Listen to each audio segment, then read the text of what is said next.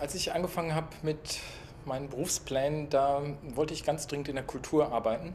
Und mein, mein größter Berufstraum war eigentlich, vielleicht mal später der Marketingchef der Kölner Philharmonie oder sowas zu werden. Und zu der Zeit hat man gedacht, dass es in der Kultur alles wahnsinnig wachsen wird und dass man eigentlich nur mit einer fundierten kaufmännischen Ausbildung, BWL-Studium überhaupt was werden kann in großen Häusern, großen Museen. Und deshalb habe ich zunächst mal äh, eine Bankausbildung gemacht und danach eben BWL studiert und parallel äh, Theater, und Fernsehwissenschaften, Kunstgeschichte.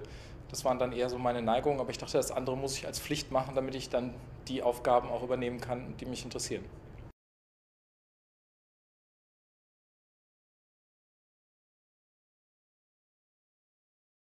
Ja, die Ausstellung The Art of Pop Video hat eigentlich eine ziemlich lange Geschichte. Ich bin 1992 hatte ich das erste Mal die Idee und habe dann über Bekannte, denen habe ich davon erzählt und die sagten, du solltest dich mal mit dem Daniel Kotenschulte unterhalten, weil der interessiert sich für so ähnliche Sachen wie du. Und dann haben wir uns das erste Mal getroffen, tatsächlich schon für diese Idee, eine Ausstellung zu Popvideo zu machen und haben eigentlich ab dem Moment angefangen, auch relativ systematisch Videos zu sammeln. Von daher es ist zwischen Daniel und mir einigermaßen einfach, sich auf einen bestimmten Kanon von Videos zu einigen, weil wir das schon über Jahre ausgefochten haben und ausgestritten haben und Videos in eine Auswahl reingenommen, einen Vortrag wieder rausgenommen und äh, uns tagelang über ein Video gefetzt. Und das war dann relativ leicht, dann zu bestimmen, was denn jetzt eigentlich die wichtigsten Videos sind, zumal wir einfach die Ausstellung so groß gemacht haben, dass wir alles eingeschlossen haben, was uns äh, interessiert hat.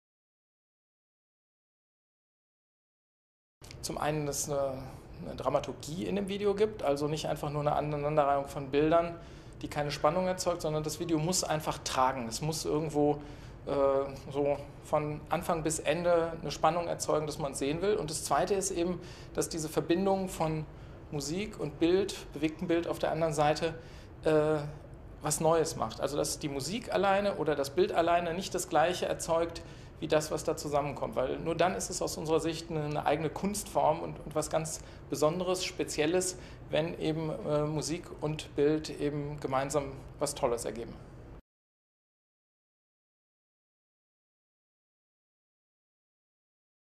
Die größten Widersprüche liegen eigentlich immer darin, die Sachen zu machen, die man interessant findet und dabei trotzdem nicht zu verhungern. Das ist ähm, gerade in dem Bereich Filmproduktion ähm, mitunter gar nicht so einfach. Man, man darf so einen Film pro Jahr machen.